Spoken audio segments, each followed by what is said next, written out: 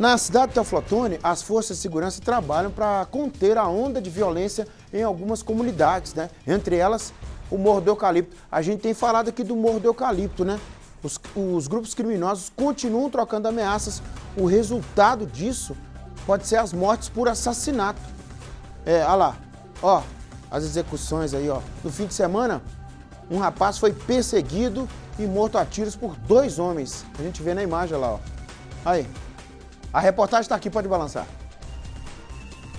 As imagens da câmera de segurança mostram Luiz Felipe Evangelista da Silva, de 21 anos, de uniforme de cor preta, que se aproxima do local onde trabalha. No alto do vídeo, dois homens estão parados na porta da empresa. Ao se aproximar, um deles saca a arma de fogo e atira. Luiz consegue correr, mas é atingido por mais tiros. No desespero, ele atravessa a rua e quase é atropelado por um carro. Sem forças, Luiz cai na calçada. O atirador se aproxima e efetua outros disparos. A loja onde ele trabalhava fechou as portas mais cedo. Testemunhas contaram à polícia que os dois suspeitos fugiram aqui em direção à rodoviária. Ao chegar nesse local, um dos suspeitos tomou de assalto uma moto e o outro obrigou um motociclista que faz o transporte de passageiros por motocicleta a dar fuga em direção à BR-116. Eles se envolveram em um acidente, abandonaram o veículo e fugiram em direção ao bairro Frei Dimas. Uma motocicleta usada na fuga foi apreendida pela PRF após ser abandonada pelo condutor. Para apurar o caso, a polícia militar isolou a rua Alberto Lender e parte do pátio do posto. O trânsito foi desviado a perícia da Polícia Civil avaliou a área, o corpo da vítima e recolheu cerca de 13 cápsulas calibre 380. Parentes estiveram no local e entraram em desespero ao saber que Luiz era a vítima do homicídio.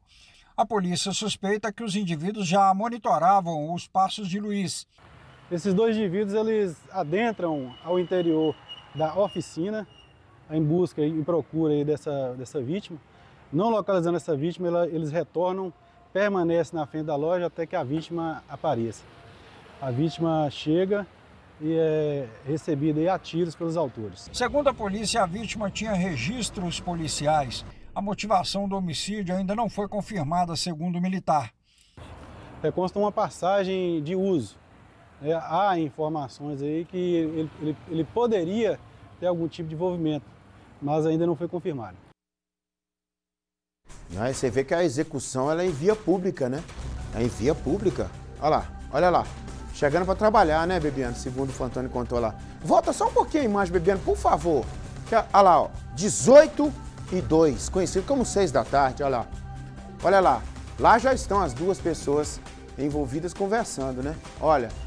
Olha lá, ó. Olha lá. A, a surpresa, a surpreendida ali, ó. Ó. Ali já começa a ser acertado, ó. Olha. E aí vai, vai ser finalizado, né? É impressionante.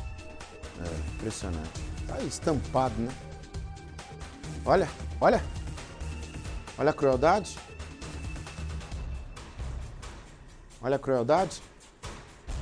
Execução, olha lá. Nossa.